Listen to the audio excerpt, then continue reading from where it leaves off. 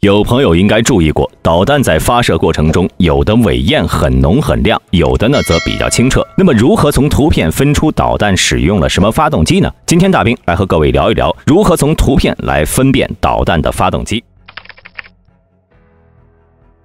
导弹家族很大，按技术性能来分类呢，有弹道导弹、飞行式导弹、巡航导弹等等；按功能分，又有反舰导弹、防空导弹、空空导弹、反坦克导弹、反辐射导弹等不同的类型。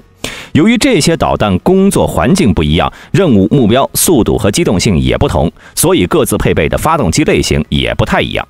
例如，弹道导弹大多是在数百公里高、近似真空的外层空间来飞行，所以需要导弹内部携带氧化剂、还原剂，一般属于火箭发动机。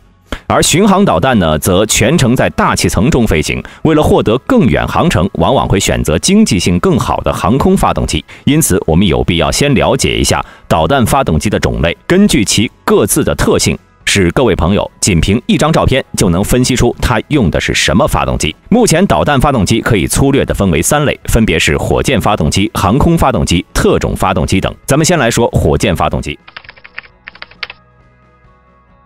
火箭发动机根据使用燃料不同，又分为固体和液体两种类型。其中，固体火箭发动机内部燃料和氧化剂按配比混合，在燃烧舱中浇铸成药柱。药柱点燃后，中间燃烧通道会把高速气体迅速喷出。尾焰温度根据不同条件在两千五到四千摄氏度之间，一般呈黄色、橙色。很浓很亮，这种推进方式的优点呢，在于反应速度快、推力大，因此在现代导弹上应用最为广泛。从大型弹道导弹到中小型地空导弹、反舰导弹、反坦克导弹都有使用。比如美国的标准系列导弹。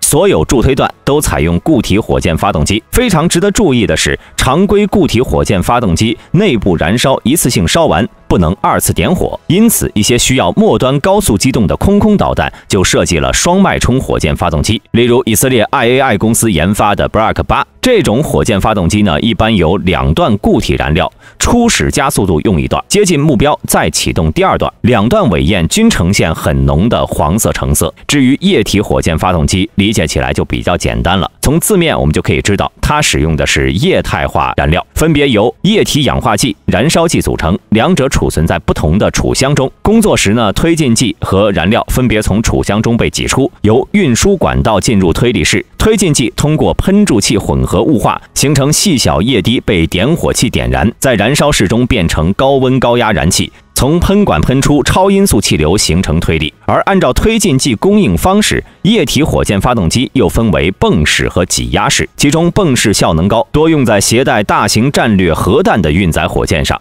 比如泰坦一号洲际弹道导弹、苏联的 SS 幺零洲际弹道导弹等等。挤压式结构则简单一些，性能也略低一些，多用在中型导弹，比如苏联的 SS 三。短程弹道导弹、美国的 MGM 五二长矛战术导弹等两种液体火箭发动机尾焰温度根据不同条件是在三千到四千摄氏度之间。外观对比固体火箭发动机比较清澈。造成这种外观差异最大的原因呢，是因为固体燃料的杂质多，很难燃烧充分，因此尾焰看起来明亮不透明。而液体火箭发动机呢，由于燃料是液体物质，杂质少一些，同时又可以雾化喷出。所以尾焰看起来会透一些，当然这是一般情况下，有些使用煤油作为燃料的火箭尾焰也比较明亮，比如 SpaceX 的猎鹰九号。尾焰介于固体和液体两种火箭发动机之间。之所以大兵这里呢拿运载火箭举例，原因是在于目前的液体火箭发动机中呢，煤油加液氧的组合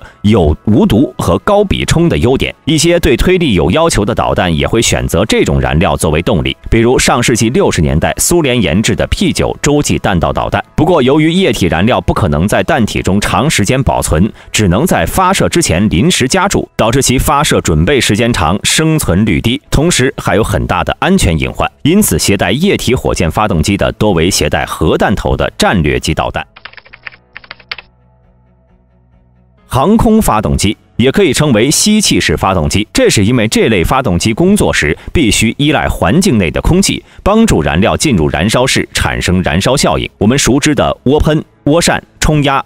火箭冲压一体化等发动机都属于这个范畴。而考虑到采用这里有发动机的导弹都会在外部留有进气口，所以大兵就以这个特征来给各位聊一聊，如何通过进气口来区分导弹采用的是涡喷、涡扇还是冲压发动机。先来说冲压，咱们以俄罗斯的 P 八百锆玛瑙超音速反舰导弹为例，这款导弹呢头上有一个小圆锥，基本上看到它我们就知道。这种导弹用的是冲压发动机，那么为什么是冲压发动机呢？咱们前面聊火箭发动机时呢，曾提到弹道导弹大多数在数百公里高、近似真空的外层空间飞行，所以需要导弹内部携带氧化剂、还原剂，一般用的都是火箭发动机。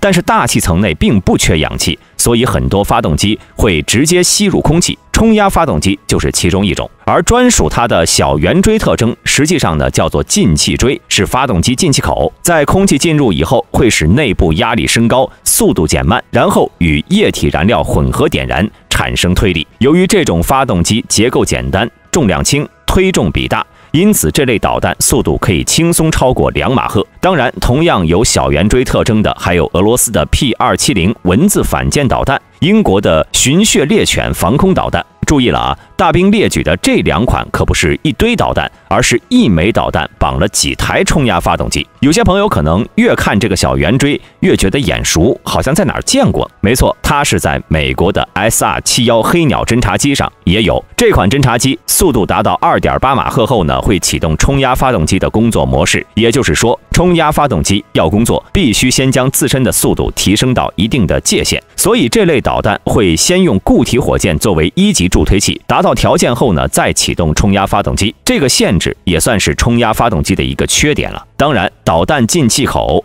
并不一定都设计在导弹头上，还有可能在四周。比如欧洲多国联合研发的 Meteor 流星超视距空空导弹，弹体下面有两个进气通道，这其实是冲压发动机的一个变种，被称为固体燃料冲压发动机。上半部分有火箭发动机的固体燃料，但只掺入了少量的氧化剂。所以点燃时呢，会产生燃烧不充分的燃气。而这些燃气则会和吸入的空气继续混合点燃，产生推力。这种变体延续了冲压发动机结构简单、重量轻、推重比大的特点，因此速度也非常可观。例如 Meteor 流星速度可以达到四马赫。另外还有一种情况，就是导弹进气口在弹体正下方。那么这种导弹采用了什么发动机呢？综合来看，分两种情况。如果进气口比较小，那它就是涡喷发动机，因为涡喷的体积比较小，同时它工作时呢需要的。空气也比涡扇小，所以进气道也相对小一些，多用在超音速巡航导弹上。同理，涡扇发动机体积较大，工作时需要的空气比涡喷要多，因此进气道设计的比较大，来获取更大的迎风面。虽然看起来笨重一些，但是涡扇的耗油量对比涡喷要低，所以导弹航程也相对可观，多用在亚音速导弹上。不过，依靠进气口大小来分辨导弹采用的涡喷还是涡扇，并不是一个很好的方式，因为有些导弹呢，虽然采用了涡扇，但是进气口依旧很小。比如美国的 BGM 幺零九战斧，它的进气口不仔细看是看不见的。而且呢，目前大部分导弹都采用了两种或者两种以上发动机组合，发挥各自的优点。所以，我们只能根据不同的助推段特征来分析它的动力有几种。比如前面提到的战斧，起飞段呢是一级固体火箭助推器，巡航段用 F 幺零七 WR 四五零涡扇发动机，用几百公斤 RG 四高密度燃料，达到两千五百多公里的超远射程。介绍完导弹的常规发动机，最后呢就是一些特种发动机了。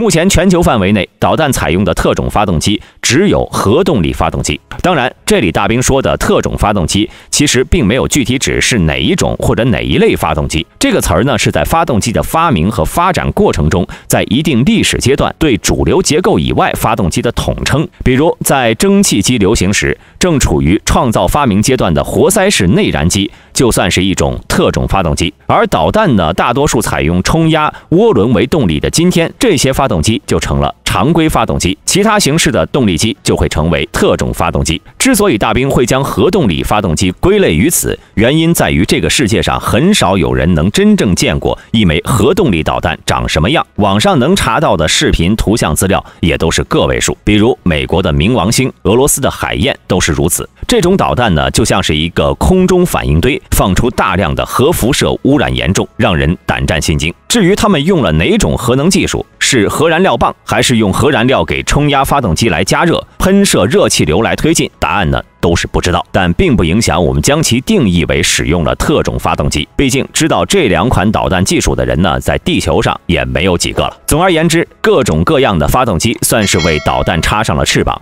使其成为威力巨大的空中利刃。以上均为大兵个人观点，仅供参考。好了，本期视频到这里就结束了，我是大兵，我们下期视频再见。